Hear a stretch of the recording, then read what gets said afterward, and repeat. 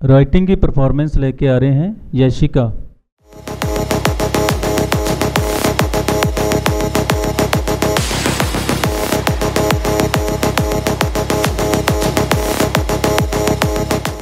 KKHD ਇਹ ਅਖਬਾਰ 'ਚ ਵੀ KKHD ਦੀ ਐਡ ਹੈ ਮੈਗਜ਼ੀਨ ਵਿੱਚ ਵੀ ਹਰ ਪੇਜ ਤੇ KKHD KKHD ਫੇਸਬੁੱਕ ਦੇਖਿਆ KKHD YouTube ਦੇਖਿਆ ਉਹ 'ਚ ਵੀ KKHD ਮੈਂ ਵੀ ਕੱਲ ਇੰਸਟਾਗ੍ਰam ਤੇ ਦੇਖਿਆ ਸੀ ਉਹਦੇ ਉੱਤੇ ਵੀ KKHD ਦੀ ਐਡ ਆ ਰਹੀ ਸੀਗੀ ਇਹ KKHD ਕੀ ਹੈਗਾ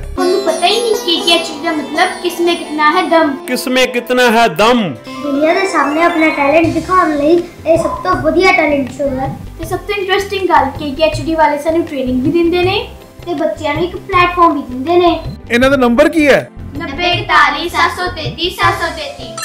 94733 733